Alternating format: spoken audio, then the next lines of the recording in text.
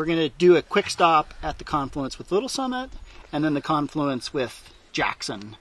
For more than 50 years, fishermen, conservationists, and environmental scientists have been working together to preserve a cherished pastime and protect one of our most precious natural resources. Trout Unlimited is a national organization whose goal is to conserve, protect, and restore North America's cold water fisheries and watersheds.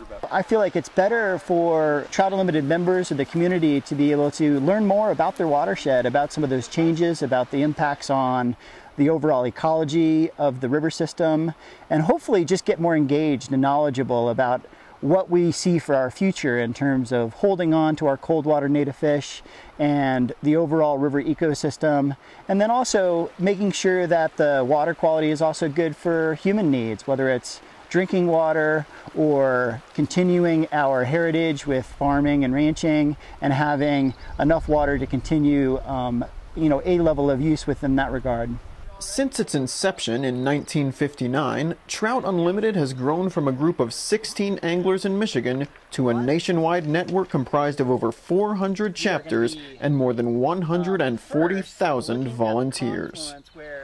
And each one of those volunteers comes with their own background and motivation for giving their time. Well, I, am retired, and I think once you retire, you like to think your activities have uh, some meaning. It gives you a sense of meaning to the activities other than just throwing a fly in the river, which is fun too. But it's nice to have a little more to it than just catching fish, even though I like to do that. I think that if I have the mind, the body, and the spirit to do it, then it would be a waste not to. Um, I think volunteering is a is a really important thing to do. It's a productive way to spend your days off, and um, it, it feels good and you know it kind of takes you out of your 48 hour work week and into another world. 64 64 and with volunteer opportunities ranging from field work to fundraising there's bound to be something for everyone. All right who wants to get some uh, temperature readings?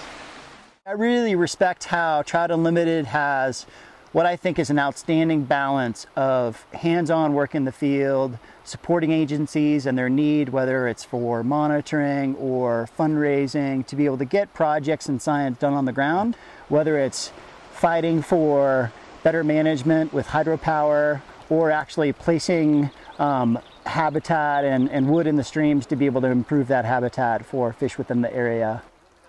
It's, it's good, you know, it's uh, like a lot of things, you get opportunities and you can kind of do almost as much as you want to in terms of different activities. So you kind of pick what you want to do. And I, I think most of these things are fun and rewarding if they are things that interest you. If you're a person that really wants to learn, um, have a chance at some free education and also kind of have a hand in helping out in the, the conservation of trout and riparian ecosystem, it would definitely be a great opportunity. And plus, everybody here is really friendly and nice. You can be anybody of any age, and, and it's definitely worth checking out.